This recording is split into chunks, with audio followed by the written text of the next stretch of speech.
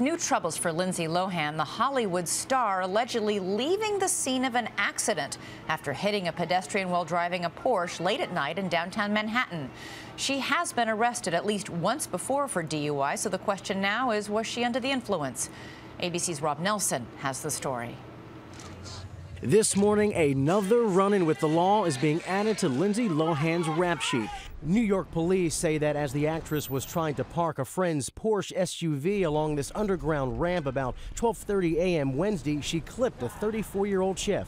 One of two men in the car with Lindsay reportedly checked on the man, who complained of knee pain and was later taken to a hospital. Lohan herself, though, went into a nearby nightclub after reportedly exchanging words with the victim. When she returned two hours later, police were waiting.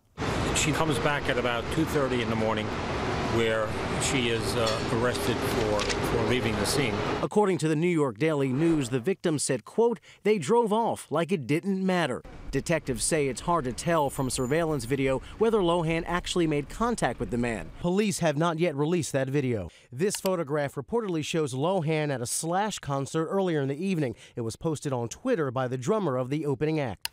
Meantime, Lohan's publicist is downplaying this latest episode, calling it, quote, much ado about nothing. Yes, Your Honor. Still, it's yet another black eye for the 26 year old star, who seems to have become as well known for her legal problems as for her movies. In March, a judge ended Lindsay's probation for a DUI conviction, and she's still under probation for a shoplifting conviction. She has been jailed several times for violating court orders. Police say they do not believe alcohol played a role in Wednesday morning's incident. No breathalyzer test was The alleged hit and run comes just days after Lohan used Twitter to chide fellow celebrity Amanda Bynes, who has recently had her own fair share of driving mishaps, including a DUI arrest and two hit and runs.